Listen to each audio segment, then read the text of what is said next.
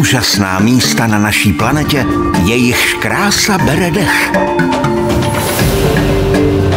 A unikátní pouť světem extrémních přírodních jevů. Úžasný život a rozzuřená planeta. V úterý večer na CS Mystery.